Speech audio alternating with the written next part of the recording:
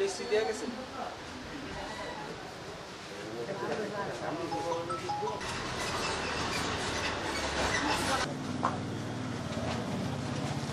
মাসে এই তিনশো একানব্বই জনকে আমি যে চাইল বিতরণ করে থাকি। প্রতি সোমবার মঙ্গলবার এবং বুধবার।